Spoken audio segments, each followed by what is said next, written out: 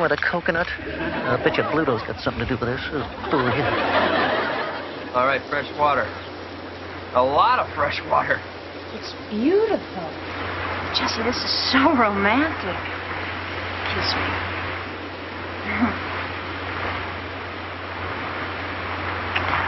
That's Paradise Hawaiian style, little mama.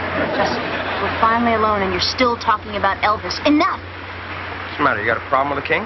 The King made the exact same movie 33 times. The only thing that changed were those stupid sideburns.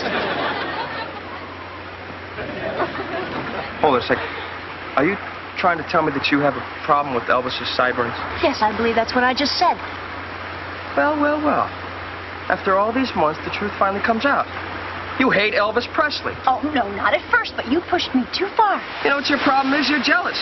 You're jealous because Elvis has better hair than you do. Better hair! Yeah, check up here. Oh, you know what? What? I don't have to stand here and listen to this. Hey, I'm talking to you.